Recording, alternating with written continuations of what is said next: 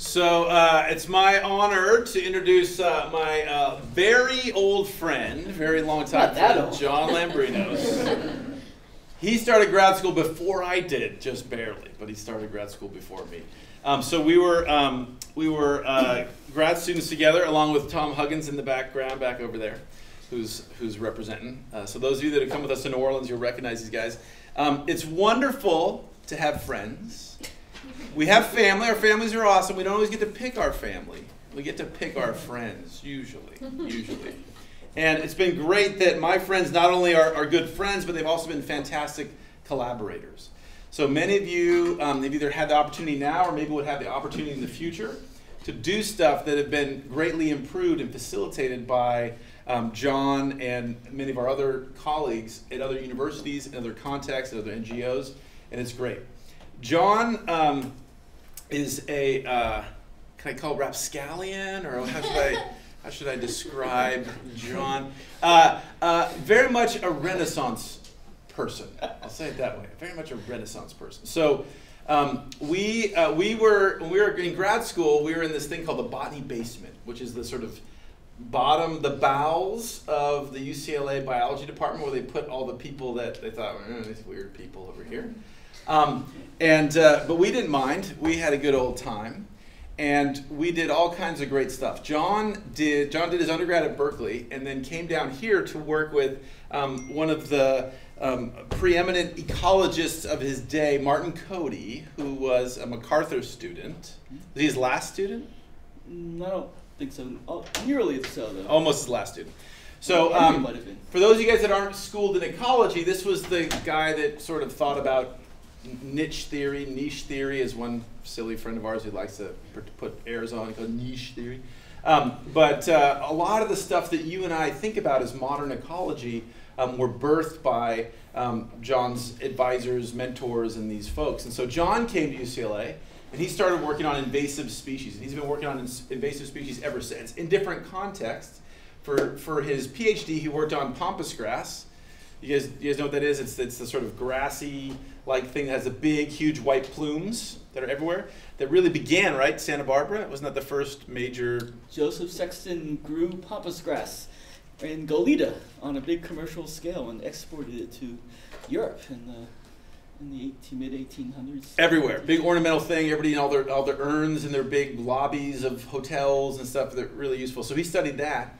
Uh, interestingly, we've been talking about this. John did his PhD on a military base, and and I did my PhD underwater. But I would say I would say, well, so I didn't fall in this category. But for our, our colleagues that worked on a military on uh, terrestrial areas, I would say probably at least sixty right 60 65% worked on a military installation because those are some of the best um, remnant habitats we have in our terrestrial zone where where we have relatively intact ecosystems and all that kind of good stuff so john worked on that uh, talked to all kinds of crazy people up at vandenberg air force base which is where he mostly worked uh, did some great stuff there looked at rabbit grazing and all kinds of cool stuff then he migrated to uc davis where he worked also on invasive species but in this case in salt marsh in a wetland estuarine uh, context and uh, worked in uh, uh, stuff in the San Francisco Bay, but mostly up in Willapa Bay, up in the Pacific Northwest. And he decided he liked the Pacific Northwest so much he'd go be a professor up there.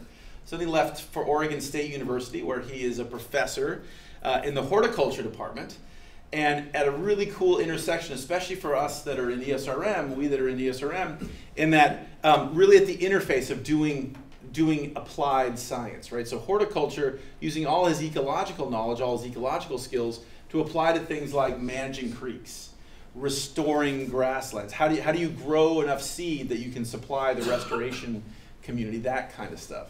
So he's been interested in all that kind of stuff between trips to Japan, working on theoretical models, and coming with us to New Orleans to work on coastal invasions. Um, John has also not only been with us on every single trip to New Orleans, except for the very first one, every single trip. Also, our trip to the Cook Islands, John was a key part of that. Um, and so uh, we, we love to collaborate with these guys. Great students, great program up there at Oregon State. And so John is on a sabbatical right now. For those of you guys who know what that means, it means he just sits around and sleeps all day. It's every, every, in theory, every seven years we professors got this break. Um, it doesn't always happen uh, these days, but it was, an, it was a time to sit back, process and think and take all the stuff you've been doing for the last many years and synthesize it and create some new ideas, new theory. It's important that we have time to breathe and reflect. He's using his opportunity, other than coming down and visiting us here in Southern California, to write a book on the Anthropocene, right? Do we have a title for the book? That's the working title. That's the working title. Snap! All right, well, without further ado, Dr. John Lambrinos from Oregon State. Well, thank you, Sean, for that wonderful introduction, and thank you all for having me down here. It's a beautiful campus. I came with Tom Huggins, who's from UCLA. We drove over from UCLA uh, this afternoon, and when we got here on campus, we were commenting to each other how beautiful um, this whole place looks but particularly the campus. And now, I granted it might have something to do with the fact that it's probably the greenest California has looked in 20 years. Um, but I think nevertheless, it's a beautiful campus. Um, so as Sean said, I am on my sabbatical and thinking about things, which is sort of a rarity these days on college campuses. Um, and one of the things I was thinking of was this word, the Anthropocene. So probably a word you all probably heard because it's big now. It's all big and sexy. Everyone's. I think I, I think I saw a clothing store called the Anthropocene. so I started thinking, well, what, what this is really, what does this really mean? Because on one hand, you know, folks like us who live in, you know, the greater Los Angeles area, or me, even me up in the middle of nowhere in Corvallis, Oregon, it's pretty, uh, it's pretty obvious that there's, I live in a completely managed world. Um, so on one hand, well, of course we live in the Anthropocene, but on the other hand, um, it's also something when you start to think about all the various ways that we are actively managing and manipulating the world, it, it, it, it's sort of surprising actually just how big a role humans now have in this planet. I'm always sort of reminded of this great passage in Robinson Crusoe, where Robinson Crusoe thinks he's the only person on this desolate island, right? And he's been trying to survive. He's using his wits to, to manage the world and survive. When he's walking on the beach, and he sees this footprint on the beach, and it like stops him dead in his tracks. And he's like, "Oh my God, I'm not the only person on this island." And I think, to to some extent, all of us, all of humanity, is at this moment now where we're beginning to realize, you know, we're not just like big players in the planet, we are the player, the main dominant player in the planet. So what I sort of wanted to, these are sort of the questions I had when I started thinking about this is, what exactly is the Anthropocene? How do folks define it? What does it mean for different folks? Um, and then, but also, how did we get here? Like, how did we end up at this point where we're currently in the Anthropocene? And that picture I just showed you of the Los Angeles basin is sort of becoming the dominant sort of habitat on the planet in many respects. And then finally, what does it mean? But more specifically, what does it mean to folks like us, environmental science and resource managers? What does it mean to be interested in that sort of area when we're in this context of the Anthropocene? So that's sort of the very vague outline for the talk. I think I may have been hanging out with the good Dr. Anderson uh, too long, so it doesn't exactly follow this in a very linear way. So, but hopefully, it is kind of coherent at least. It's jazz, dude. It's jazz. All right, so you've probably uh, seen this chart. Well, actually, I didn't know that this this chart actually existed. There's an official thing called uh, the International Chronostratigraphic Chart by the International Commission on Stratigraphy. I didn't actually know there's an International National Commission on Stratigraphy stratigraphy. And they're the folks who define all of the different divisions of geology. So this is, uh, they've divided the, the period of time starting from the beginning of the Earth, somewhere around 4.6 billion years ago, the Earth came vaguely solid, it was still pretty hot, all the way up to the present, the Holocene there. And um, they, they've divided it into different um, eons, eras, periods, epochs, stages that basically correspond to different periods in the history of Earth that had unique characteristics, unique sort of physical characteristics, unique uh, associations of animals, basically unique ecosystems, thinking about from an ecological perspective. These are periods of time that look distinct in some way. And being geologists, you know, this may sort of look like a, when I looked at it at first, it looked sort of like a, a layer cake, and that's not, I think, by accident, because, you know, geologists, I think, think of things in terms of stratigraphy, right? There's the earliest things get laid down first, and then they get laid on top. Rock layers get laid on top, laid on top, laid on top, all the way to the present. So they're, they're organized in this sort of progression of time. And another thing I didn't really know is uh, look here, so there's this, these little points here. They're called sort of colloquially golden spikes. So there's an official type specimen of the transition in a rock layer somewhere on Earth that corresponds to each of these transitions in the geologic period. So this one here, the Capitanian, which is in the middle of the Permian, has a golden spike. There it is. Wow! And so the, the kind of cool thing about this kind of structure is that's official. Right? No one can quibble about when the Permian started or how long the Ordovician lasted, right? They had long meetings, they, they quibbled, they fought, they called each other names, and you know, they, people still don't probably talk to each other because they decided to put the golden spike in one particular spot, but they resolved that all. So now all of us who aren't really geologists, right, can use this as a place to kind of orient ourselves in the history of Earth, right? So this is kind of a cool thing. And so here's the uh, kind of fittingly, the golden spike for the Holocene is sort of a virtual golden spike. And that's it right here. This is the Greenland, the North Greenland ice core. And that line right there marks the transition in um, the heavy isotopes of oxygen and water, which mark a transition from the sort of cold glacial periods of the Pleistocene to the relatively warm period of the Holocene. And that's that mark right here. And you can actually sort of see it in, this is the full record, and you can see the sort of the fluctuations in the sort of physical, visual representation of basically ice bubbles here, going from warm periods, cold periods, warm periods, and then relatively stable periods in the Holocene. So that's one sort of measure of that transition between the Pleistocene and the Holocene. The other one is a transition in fauna. So this is the fauna of the La Brea tar pits, the Pleistocene. And just a few thousand years after this, you know, 10,000 years ago, all those megafauna went extinct. right? So that's the kind of definition that marks that transition between the Pleistocene and the Holocene. But unfortunately for geologists, well, I'm, I'm kind of generalizing here. I don't really know many geologists, but I sort of, I sort of kind of think of them that they probably don't like change very much. they sort of, you know, they're dealing with periods of time that are like hundreds of thousands of years, millions of years. So they define the Holocene 12,000 years ago. That's when the Holocene started. There's the golden spike in the North Greenland ice core. And then annoyingly, things didn't stop changing.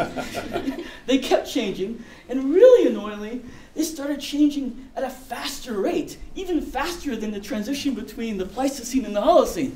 And things like, so here's the fauna. So here's extinctions. This is one measure of extinctions. These are actually the same data using kind of two different, uh, kind of a more or less pessimistic model of when you count a species extinct or not, right?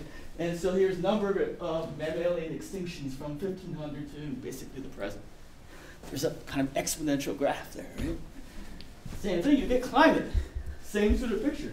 So this is a temperature anomaly from actual, not from the ice core data, but from actual measurements of temperature, the same sort of thing. So almost sort of an exponential increase in temperature. So kind of some wag in the back of the room raised their hand and said, hey, so if we define the Holocene Pleistocene transition back then like that, this looks way different than that transition. Shouldn't we define another era? And they,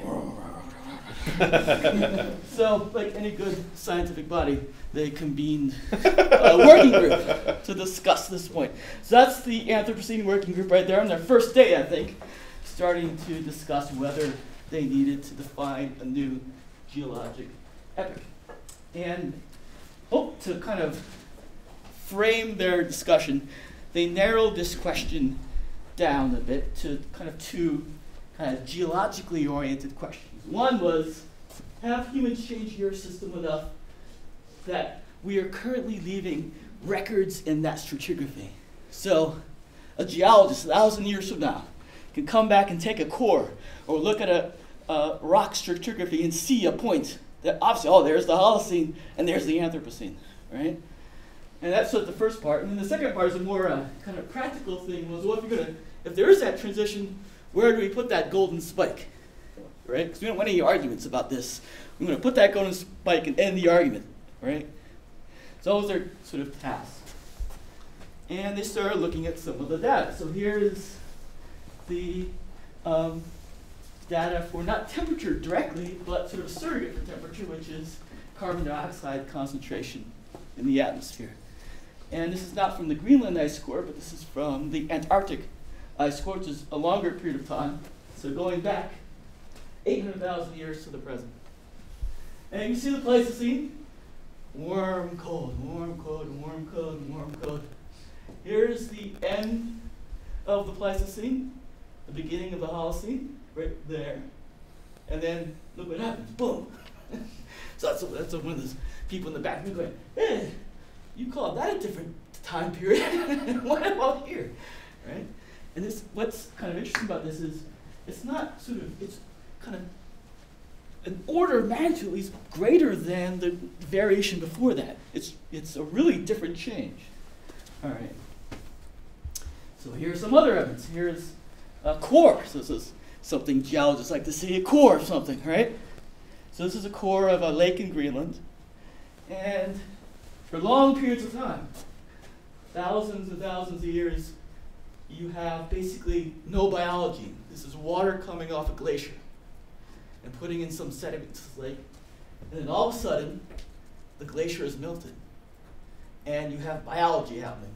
And you have sediments that are characteristic of biological systems. So there's a marker in a core. And importantly, it's not just happening in Greenland, it's happening in glacial systems uh, all around the world. So it's a global phenomenon. All right. So they begin to catalog some various other things that they know are actually making a geologic record. So one of them are, there's a whole range of manufactured materials that are basically brand new that we've created, either from whole cloth or we cause to be much more abundant than they normally would be, like aluminum. Elemental aluminum is very, very rare in the earth, but it's ubiquitous now, right? So this actual picture is from the Cook Islands. Yeah, it is. yeah, it is.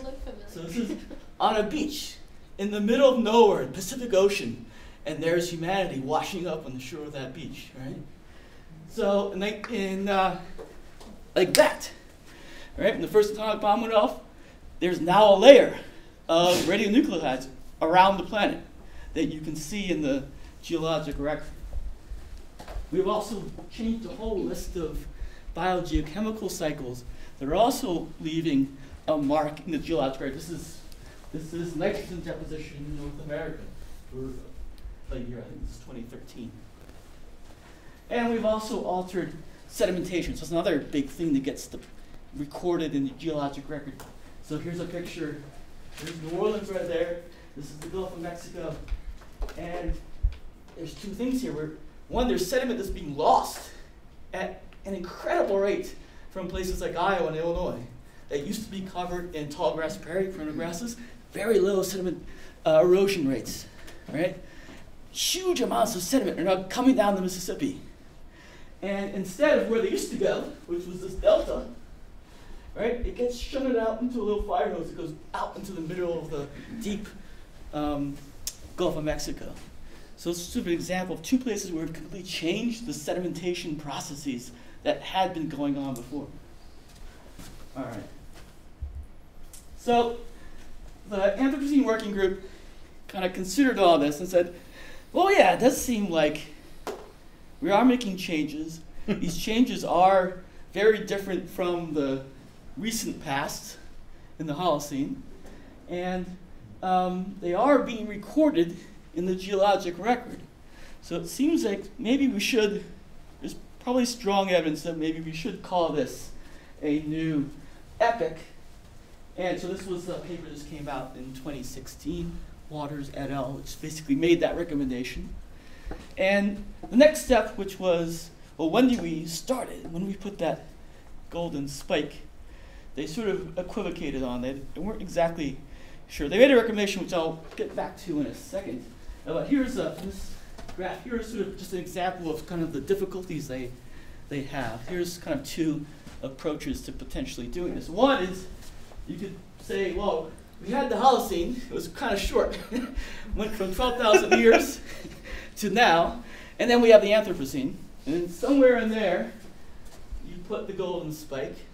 And you can, you can, you can imagine, like, you can just yourselves you can think of all the ways the first moments there's like the first you do the first moment where humans had an impact or do you do the moment where they had the most impact or the most impact that's being recorded in the geologic record? Mm, all right. That, that could be another more years of working group meetings and people yelling at each other and never speaking to each other again.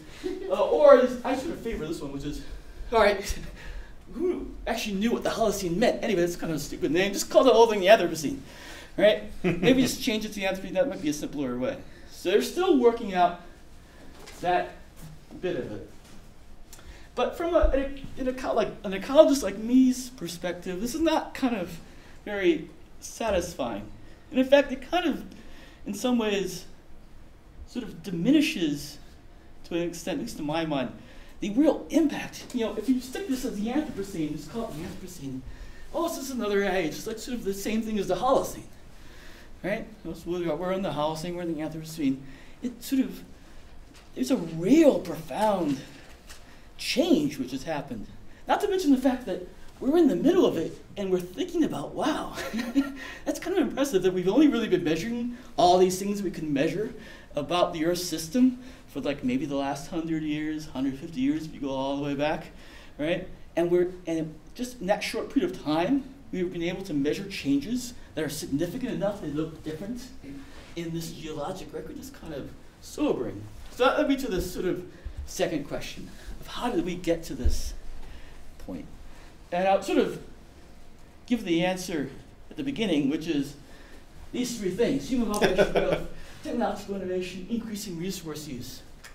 But this is a great example of how bullet points on a PowerPoint slide are awful. right? Because there's it makes it look so simple. Oh, it's just human population growth, technological innovation, increasing resources. Of course, all these things interact with each other in very complex ways and fed off each other and interact with each other and a long sort of history of human history. And I'm going to be just slightly better than these bullet points and give you go through this history a little bit. But as you'll probably be thinking, it's far from a complete history of how we got to this point. All right. So like one question, one question I had is, you know, there's seven and a half billion people of us on the planet. There's a lot of us. But relative to lots of other things that we think of as being regulators of the Earth system, like trees, we're like a rounding area, right? So there's probably, the latest estimate, there's just three trillion trees in the world. You know, huge, gigantic trees. We're like, I'm five eight, this little guy. There's like only seven and a half billion of us. So how can we have this big impact? You know, relative to something like that. The other thing is, you know, when you think about the history of humans, we have this sort of, it's kind of a, a miracle that we even survived on this planet. So this is a great, I love this. This is uh, a picture of footprints that are 3.7 million years old. Uh, one of our very close hominin ancestors, probably in the folks who were in the genus Australopithecus. The famous Lucy is probably one of the folks who caused these footprints. And just looking at you, I mean, they probably weren't exactly us, but can't you see? That's like us. That's, that's like a group of folks walking on a piece of mud. And um, that may have only been, it seems, that could have only been the only impact, lasting impact humans ever had on the planet, was those footprints. And particularly you consider, so here's our hominin tree, here's all the other members of the hominin lineage. So there's the Australopithecus group. There's us up there. Um, this includes folks like Homo habilis, who were who've gone extinct, who, when they went extinct, had colonized Africa, all of Eurasia, built tools, had societies, had had created technologies, they went extinct, right? Um, everyone went extinct. All these guys went extinct except us. So, like, how the heck did we go from this very low diversity? We didn't really spread out very, very much in terms of evolutionary diversification. How did this one sort of group end up having this big impact on the planet? So, the story may start somewhere around here. So this is the footprint as well. You probably can't see it very well. It's facing this way. So the top there is the heel, and the sort of toes are here. So this was the footprint that was found in coastal British Columbia, and it may be the oldest footprint in North America. They dated a piece of charcoal that was sitting in the middle of the footprint at 13,000 years ago. The rest of the stratigraphy is kind of screwed up. Looks like it says just as probably earlier, later than that, like maybe 5,000, 6,000 years ago. So there's some uncertainty of that. But these were definitely sort of one of the first early colonizers of North America. And they were probably fishermen, hunter gatherers who were using coastal resources. And to this day, you can find the remnants of their shell middens dotted around British Columbia. And in a cool paper that was just published this past year by Trant et al., who showed that these middens still have an effect on the local ecosystem. So all these western red cedars that are growing around these old centers of habitation grow faster and taller because of the nutrient additions leaching off of these shell middens, which is kind of cool. So there we have, you know, hunter-gatherer folks who are even then um, the, had very low population sizes. And when we think of them having very kind of minimal impacts on the planet, even then we're having some impacts. All right.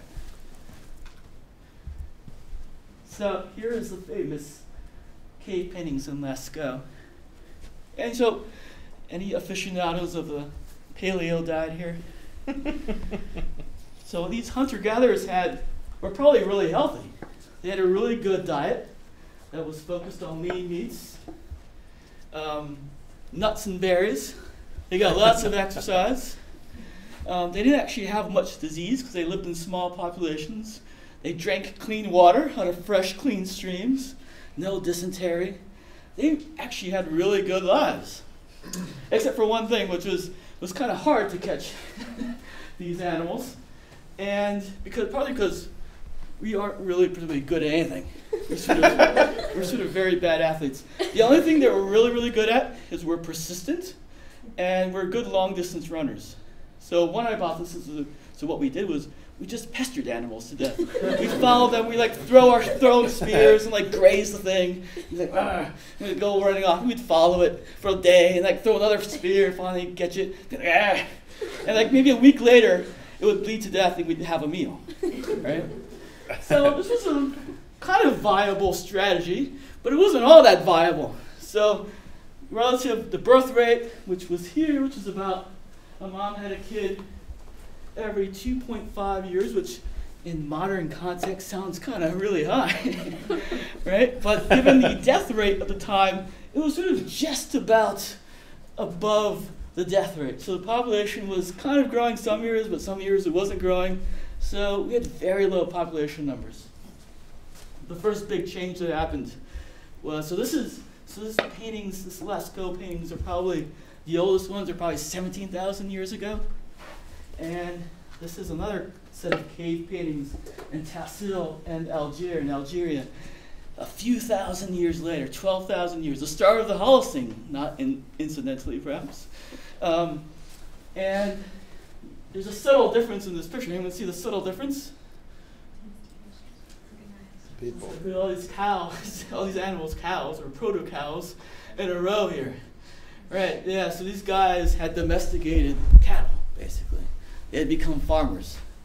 And through some really cool data um, studies that investigated the demography of graveyards of um, hunter gatherers versus early farming communities, we've been able to reconstruct the demography, early demography of humans. And this is one of the first big demographic transitions in humanity is look at this. So moms now in these in these agrarian societies are now having a baby every three and a half years. Which is kind of so that's good. But on the other hand, they actually their lives probably got actually got suckier. so instead of eating lots of lean meat and proteins, they were eating millet seven days a week, 365 days a year. Millet. Carbohydrates. Right? Or teff, right? They're eating teff. And they were all living in, in close association to each other and uh, putting fecal matter in their drinking water and getting sick. And lots of things were evolving to start eating this human bodies that were now in close proximity, right? So all these diseases started to evolve. So the death rate started to increase. But demographically, this is a huge thing. This is a sort of generation time, right? It's how how early women start having children and how long they have those children. This is a much bigger impact on human population growth than the actual death rate is. And so this, when this happens, even though their death rate had gone up, they actually the population started to grow. It didn't grow very quickly. It still was growing very, very, slowly. But in contrast to these hunter-gatherer societies where it was maybe it wasn't growing at all, now human population growth started to slowly, slowly, slowly, slowly grow over thousands and thousands of years until we get into um, this period of time, like 1400s, 1500s, 1600s. Population size is still probably really low, um, but we start to get some innovation in agriculture primarily.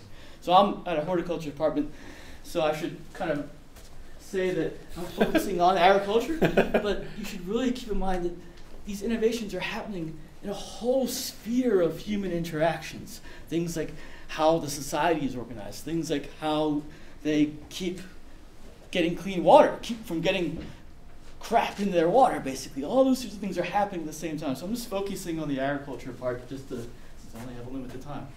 So, um, lots of um, in the agriculture sort of was invented independently around the world in various places, and this innovation was happening around the world in various places. So, great example are the Aztecs who started draining wetlands, one of the first people in the in the world to conceive the idea that if you drain a wetland, you can grow crops on it.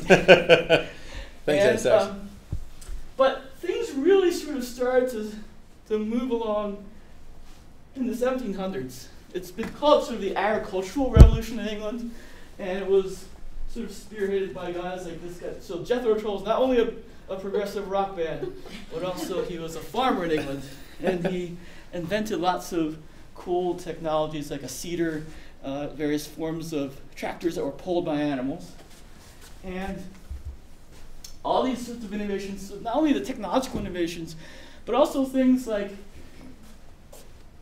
we started to realize that these farming systems were basically ecosystems. We didn't really call them ecosystems at the time, but uh, we started to, instead of um, just trying to concentrate on our single crop, we started to think about growing them in a system that basically involved growing things in crop rotation, using legumes, using fertilizer from animals to fertilize those crops.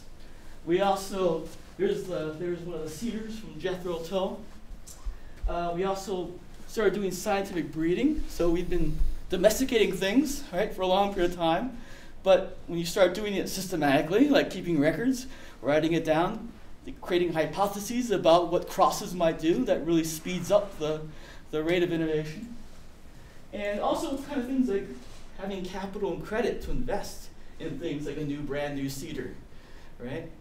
Um, that involves like having sort of cash to buy. You know, someone's going to make it in London, and you have to have some way of getting that thing that's made in London out to your farm, right? And then the reverse of that is having markets. So now you're not just growing food for your family, or growing food for your village, you're growing food for London, for Antwerp, eventually places like New York, Chile, right? Things like that. So all this sort, sort of started, oh, I should mention, so in the 1700s, agricultural yields in England doubled in 50 years as a result of these things. Right, so there's more food now. Right, so more food, um, potentially more babies. Right, all right. So things really start to go when these two guys had a brilliant idea. this is like this is like sort of the equivalent of making money out of thin air. But it's really making nitrogen out of thin air. The Haber-Bosch process. So there's Fritz Haber who actually invented the, the chemical engineering innovation, right? That only bacteria had up until, you know, for millions and millions of years, the only people had figured it out were bacteria until Fritz Haber came along. And then uh, Carl Bosch, who was able to sort of industrialize it on a large scale. Right? So now, the one of the key limiting nutrients for plants, right, we could just create in huge amounts and put it on fields to grow more crops. All right, so this is a great uh, picture. Was an article by um, David Tilman. And so this one up here is agricultural or grain yields, not total agricultural yields, but just grain yields. And the top figure there from 1960 to 2000. And it's gone up. And sort of popularly, this is known as the Green Revolution. And it's associated with folks like Norman Borlaug, who came up, came up with a whole range of new sort of varieties for uh, our various crops. And that sort of, it's important to keep in mind that it wasn't just that Norman created new crops that were just inherently better. He did a really, really, really sophisticated trick was Haber-Bosch had all this nitrogen. And you think, well, just put nitrogen on the, on the ground and plants are going to grow grass big. But they don't often grow the way we want them to grow. If you're wheat, you put nitrogen on wheat, the wheat grows really tall, gets really gigantic roots, and then the wind comes down and knocks it down. And in terms of the yield that you get out of that wheat, it's actually not very much more. Right? The wheat is doing its own thing. What Norman Borlaug did was create varieties. When you put nitrogen on that variety of wheat, it turned all that nitrogen into grain. It was grew this tall. You put 20% more nitrogen on the ground, you get 15% more yield in wheat. That's amazing. That's a trick. But of course, what's that then tie your agricultural production to? Resource use, right? Nitrogen. This is nitrogen, water, phosphorus over that same time period our use. This is pesticide use. So there's always a trade-off. There's no free lunch. So you make a wheat plant, channel all that nitrogen into growing grain, it then stops doing things like protecting itself from pests. So we have to protect it from pests, right? So we do pesticides. So this kind of increase in yield has been associated with an increase in energy use, right? To drive that Haber-Bosch process, to drive all the production of pesticides, to move all that new grain that was being produced around the markets, right? So this is basically the same time period. There's 1960. Look at that, room. That same period of time. So Will Steffen, who is a scientist um, who's in Singapore now, actually was, uh, I thought he was Australian, but he's actually an American who was in Australia. Now was in Singapore when they got rid of the climate center in Australia. Because there's no such thing as climate change. climate change. So he turned this period of change that basically started in 1960 when we kind of really industrialized agricultural production, but also lots of other things that we were doing in society that really started after the World War II, basically. He termed this the Great Acceleration. It's probably a little bit hard to see, but 1960, or it's basically 1950, is this point in the graph right there. So all these red lines here are marking 1950. And it shows you the whole range of, on this side, Earth system trends. Right? So things like coastal nitrogen, amount of shrimp agriculture, marine uh, fish capture, ozone, surface temperature, ocean acidification, all those show a really marked, basically exponential increase starting around 1950. And then that's associated with what he calls a whole bunch of these socio-economic trends.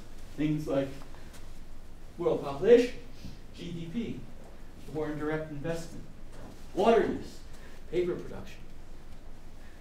And so this is sort of the, the next big shift, which was this rapid, really remarkably rapid increase in our energy use, our resource use, and our population growth. So here's our population growth. 70 years, this was the start of that agro-industrial revolution. Um, and here is basically 1950, 1960, an exponential increase in population growth. Here is um, this line here is total population, this axis here.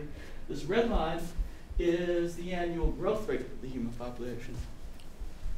But if you're sort of critically looking at this chart, you might notice that so this is 1960 more or less, right, or 50 more or less right there.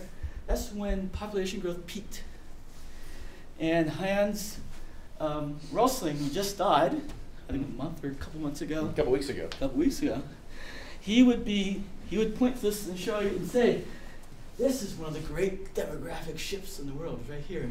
Is after 1950, population growth rate started to decline. And it started to decline because the world has gotten a better place in many ways. People now have access, more of the world's population has access to clean water, has access to food, has access to capital, has access to housing.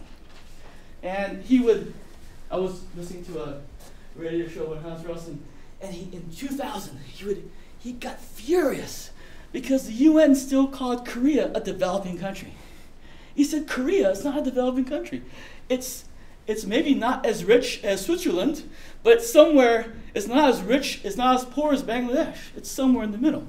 Huge chunks of that human population have gotten better. Their lives are better. And this population growth has steadily declined since 19, 1950. So the current estimate is that we'll peak at around 10, 11 billion people in the world.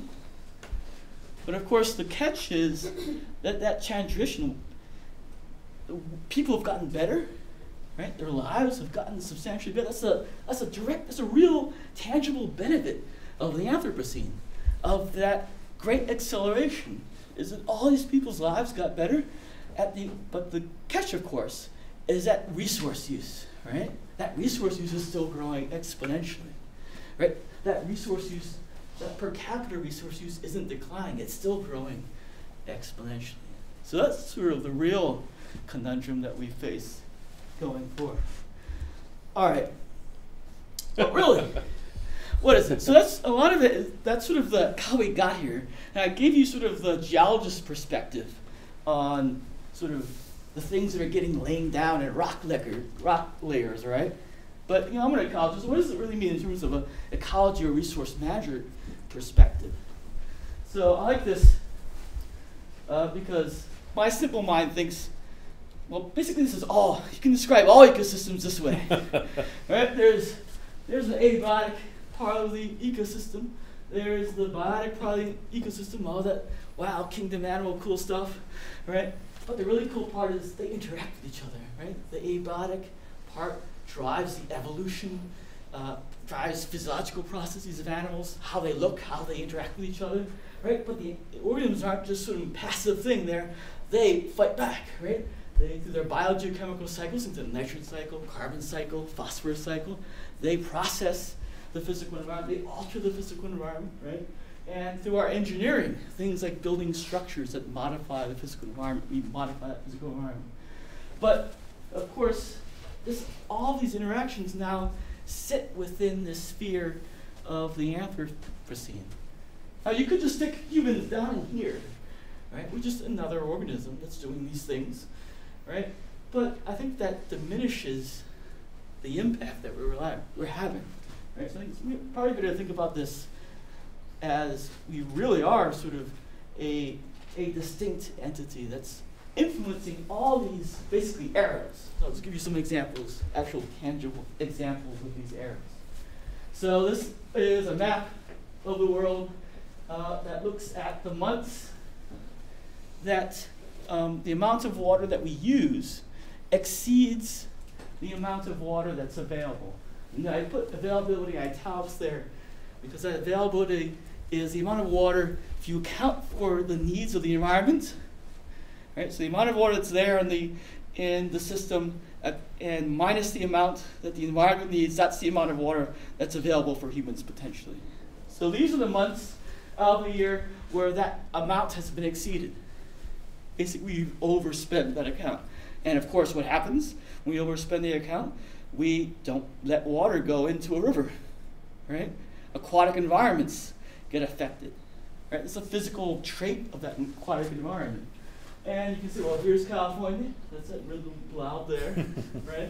Um, so there's parts of the world where there's lots of water and relatively few numbers of people, but lots of the world that are in basically water scarcity. Here is another kind of critical part of the environment, nitrogen. Right? How much nitrogen is there for plants to grow?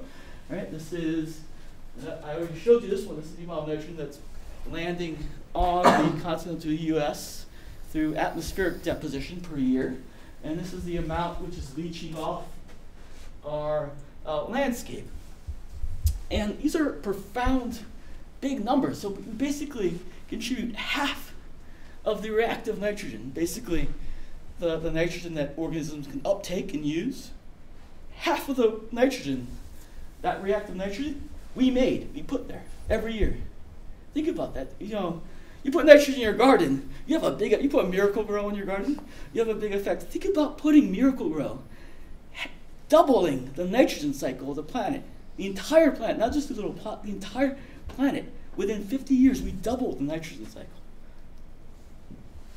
All right. So another do, we tend to homogenize things. This is kind of a, a hard graph, perhaps to digest, but these are these guys. They went, they looked at um, different watersheds and compared the hydrological regimes of these watersheds before and after dams were put in, and then they sort of calculated a measure of dissimilarity or uh, uniqueness. So you know sometimes uh, how much the volume of the water, when the water flowed. Each of these watersheds have, are slightly different from each other. And that's one of the things that's contributed to North America being a real hotspot of freshwater aquatic biodiversity was that variability. And what they found was when you put in a dam, now all that variability goes away. All the dams, that what you know, the, it's controlled by humans, and humans have very. They know what humans when the humans want that water, right? And so they make all those watersheds exactly the same. We're more similar to each other. So that's what that top graph shows. So uh, they're below that 45 degree line. All these watersheds became more similar to each other after the dam was put in. This is a control where there was no dam put in. So they're all along that line. All right. We also have disturbance regimes. This is a picture on a particularly smoky day in Mato Grosso, Brazil, Amazon. Here's a kind of a summary for a year, average annual fire density of fires per million hectares per year. So this is an environment that up until 1950 had almost no fires. There's some there's debate on what the actual fire frequency was, but there's people who look at you in a straight face and say there's spots in the Amazon that haven't had a fire in a thousand years, right? And that's completely changed. This is now a system that has annual fire, burns at the same frequency as a savanna does. So we went from, we changed the entire, this whole chunk of a continent was a place that there was no fire at all. And in the span of 50 years, we turned it into a place that has fire every year, intense fire every year. That's a profound change to the system. All right. This is, I oh, already showed you nitrogen Oh, this is this is our appropriation of the NPP.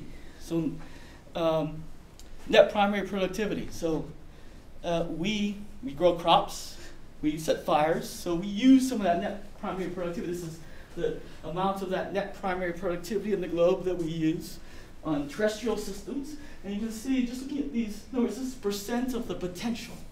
How much of that net primary productivity that is potentially fixed in the system that we use.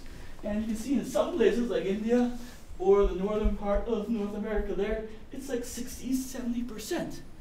Think about that. So this is the base of that whole food web, right? Those pictures of food webs you look at, this is the base, the primary productivity. In some places of the world, big chunks, everything that's red there, we're using like half, half of that net primary productivity we directly either consume or by for food or cause to be consumed by things like fires or degraded lands. This is the same picture for the aquatic environment. All right, oops. That. just says that we make half the nitrogen in the world. And we move it around. So this is the flows in, what's that, thousands of tons per year. The top picture is fertilizer movement around the world. This is grain movement around the world and this is meat. So, know, there used to be a very tight connection between where the primary productivity happened and where it flowed through ecosystems.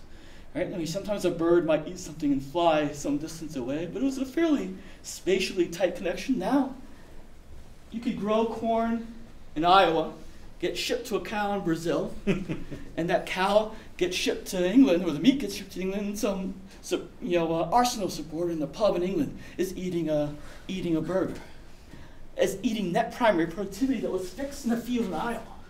Isn't that kind of wild? All right.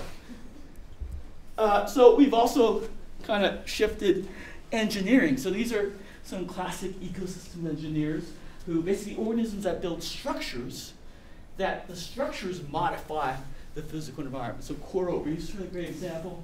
Here's some uh, termite mounds. Here's a beaver dam. Very partially beavers. But of course, we're masters of ecosystem engineering. It took me, I, I think I was in Los Angeles for, I lived in Los Angeles for about a year before I realized that that was a river. All right, so this is just sort of one kind of just to show you that we build structures and the structures modify that physical environment. So this is the heat island effect. This is kind of the difference in temperature. This is three degrees warmer at this end of the scale than the surrounding vegetation, basically the surrounding environment. So you can, that difference maps out basically our urban environment. Right? You imagine, so temperature is a critical thing for organisms. All of that, we've changed the fundamental trait of the abiotic environment for all those organisms and everywhere that is, is red there. And that was just an accident. We didn't mean to do that. Imagine the things we meant to do, like actually fix nitrogen out of the atmosphere, right? right. So, uh, oh, we kind of we, we muddled engineers. So there's New Orleans where Spartina were causing various reasons to cause Spartina to go away. That's resulting in changes to the ecosystem. And then you put that same plant in an environment like the West Coast. It's kind of is, you know, it's perverse. Right? we're getting rid of it here, getting rid of a wetland, and then we're building a wetland where we don't really want it over here on this is Willapa Bay, Washington. This is Spartina alterniflora, the same species, which is the foundational plant of wetlands in the Gulf of Mexico. All right, I'm running out of time, so I'll speed through this. So, what does it really mean in terms of being uh, uh, an environmental scientist or a resource manager? I think there's three, I think maybe four. I forget how many means I had. An important number. One, I think, is we need, it, it, I think it's forcing us to look more forward than backward. We've often kind of, when we're thinking about things like doing restoration, we often had this sort of backward look. But in an environment where the world is changing exponentially, that may not be the good thing to do. That, I like this. So this is uh, the ecoregions of Oregon. I live here in Corvallis, so I'm in the Willamette Valley ecoregion, level three ecoregion. And so here's the description of the ecoregion where I live. It's called the Prairie Terraces. and everything you know, I highlighted them, it's all in the past tense. savanna and prairie, uh, fluvial terraces once supported oak, savannah and prairies that were maintained by frequent fires. Um, were su- areas supported Oregon ash and black cottonwood.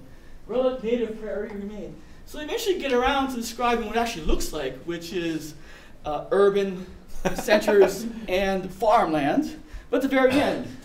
So I think maybe this should better be uh, uh, perennial ryegrass seed production slash urban area is what would be a better description of this ecoregion. I just, I just thought that's a good example of this. All right, uh, here's another sort of example. People try to do this. So this is a biomes of the real that you've probably all grew up with. Here's um, it's a paper that came out in 2008 where the folks reimagined the world as um, anthropogenic biomes or anthromes. So they said, you know, you look out, you know, I, I flew down here and I don't think I saw anything that was natural. It was all human. I flew down the central, look out, next time you fly up to like San Francisco, look out the plane window. It's an entire, it's a, it's a farm. All the way from here to San Francisco and further, actually all the way up to, to Vancouver, British Columbia, it's a farm in that Central Valley area. Right, so they said, well, you should call that biome a farm. Don't call it prairie terraces, right? Um, so they divided, so basically they said 25% of the world is wild now. The rest of it, 75%, is managed by humans in some way. All right. So the next thing is, given this, we need to focus on processes. And we've, as ecologists, we've been doing this for a while, or uh, we since about 1955, prior to the publication of this paper. So this is the Odum brothers who were sent by the Atomic Energy Commission to this atoll in the middle of the Pacific, Enewetak, because the year before, the U.S. Uh, Army had detonated one of the largest explosions ever, obliterating a big chunk of Bikini, the next door atoll to this. And so they sent the Odums to uh, uh, describe the reef of this system as a baseline to see if there'll be any effect of the fallout from this atomic weapons.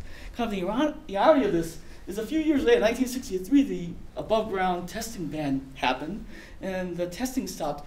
But a whole wide range of other kind of more profound things happened, like ocean acidification, uh, intensive fishing, pollution that have been altering industries. Although you can still see, you can see that crater up there. That's from a hydrogen bomb being detonated. But they wrote this great paper. They spent like a month there. They had never seen a coral reef before in their lives. They had never been to a Pacific island.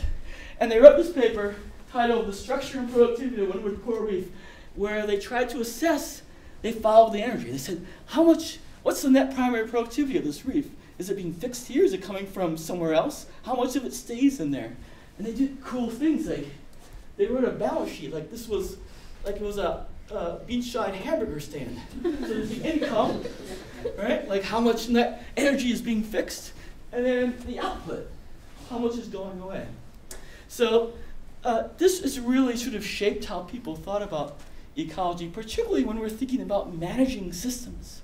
Because now we can say things like, well, what, what if we, we go from a system in the Amazon that had never had fire before, and we suddenly institute all this fire, what does that do to the net primary productivity? Where does it go?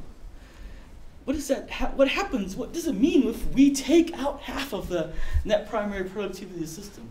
What does that do to other things in the system?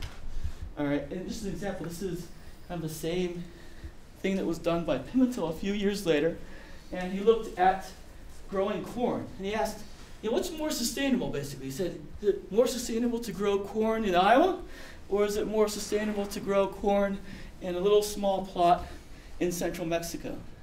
And he said, he basically took the Odum's approach and looked at the energy. He said, here's how much energy it takes to grow corn in terms of cultural inputs in Mexico versus the United States. A lot more in the United States. Right? Huge amount of energy, resources, right? That the great acceleration. And, um, and he said, well, what's the energy you get out of that in terms of grain? That's what he calculated here, this line. You get way more in the United States and a lot less in Mexico.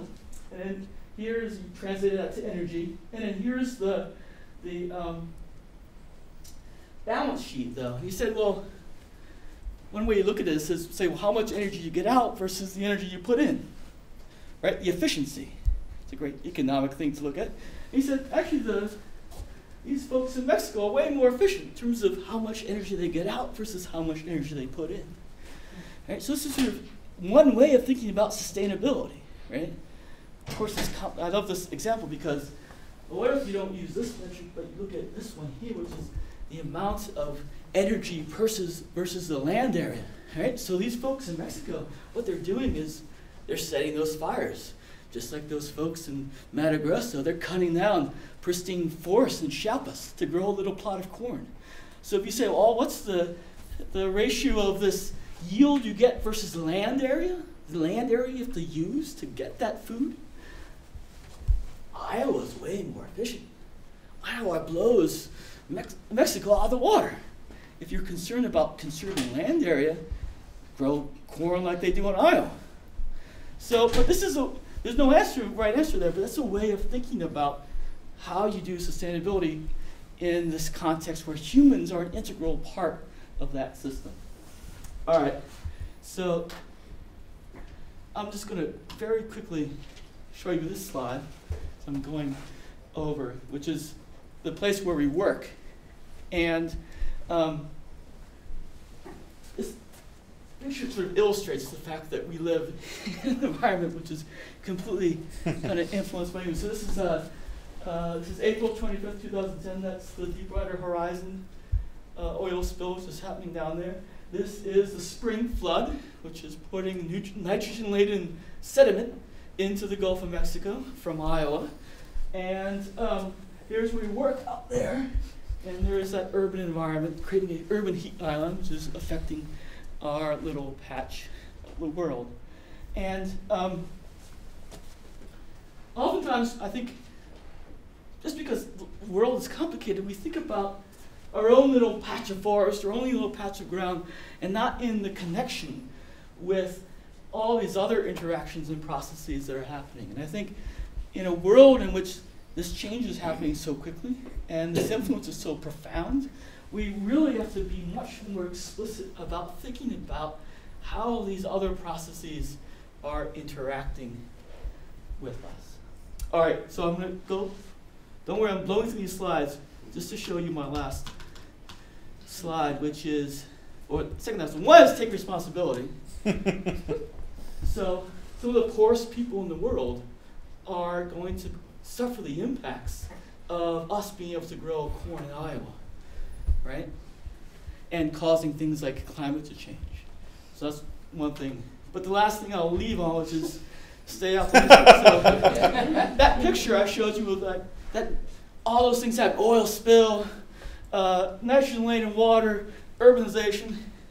Whoops. This is in the middle of all that. A hooded warbler.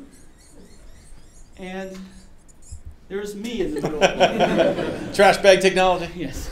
So the world has changed. It's completely different than it was 12,000 years ago. It's completely different than it was 50, 60 years ago. But that still means it's a world that's full of biology, full of diversity, and also full of us, which means we just have to figure out how to interact with it. All right, I'm sorry for going over.